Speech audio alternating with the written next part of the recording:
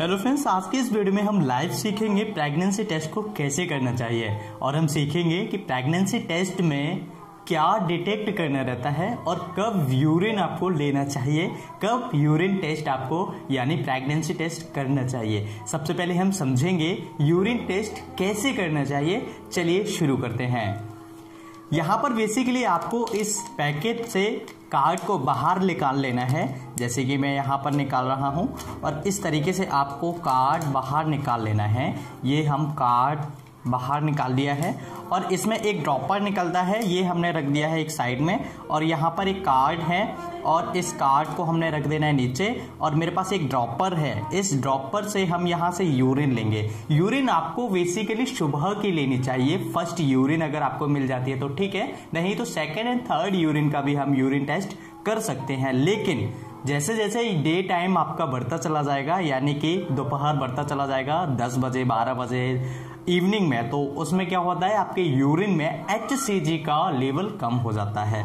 HCG यानी कि human कॉर्नियोनिक गॉनरोट्रॉपिक hormone ये आपको बेसिकली टेस्ट करना रहता है यूरिन प्रेगनेंसी टेस्ट में। ये कार्ड आप देख रहे हैं, यहाँ पर कोई भी लाइन नहीं है, और इस टेस्ट में हम समझेंगे, अगर किसी को एक लाइन के साथ में एक हल्की गुलाबी लाइन आ जाती है तो इसका क्या मतलब होता है? सबसे पहले हमें करना ये है, इसमें से दो ड्रॉप्स यूरिन ले लेना है और इसमें हमें दो बूंद डाल देना है। जैसे ही हम इसमें दो ड्रॉप्स डालेंगे तो यहाँ पर हमें रिजल्ट्स देखने को मिल जाएगा।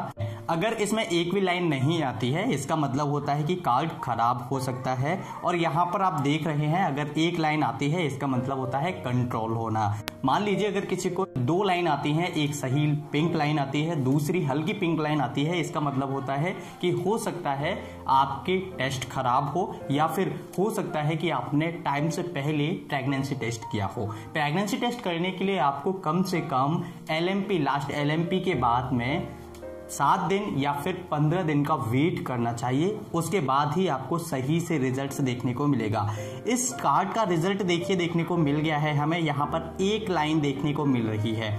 यहाँ पर लिखा हुआ है सी सबसे पहले लिखा हुआ है ऊपर सी और यहाँ पर लिखा हुआ है टी।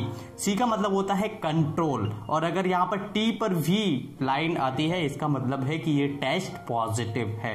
मान लीजिए कार्ड में एक भी लाइन नहीं है, इसका मतलब है हो सकता है कार्ड खराब हो या फिर हो सकता है आपने किसी गलत तरीके से टेस्ट किया हो। तो आज हमने जाना है प्रेगनेंसी टेस्ट को घर पर, कैसे आप कर सकते हैं। ध्यान रखें, अगर प्रेगनेंसी टेस्ट करते समय अगर आप पहली यूरिन लेते हैं तो ज़्यादा बेटर है, नहीं तो सेकेंड एंड थर्ड यूरिन से आप कर सकते हैं। इसके बाद आपको ध्यान रखना है लास्ट एलएमपी के बाद में कम से कम सात दिन या पंद्रह दिन का वेट करना चाहिए, जिससे आपके ब्लड में HCG का लेवल थोड़ा सा नॉर्मल हो जाए।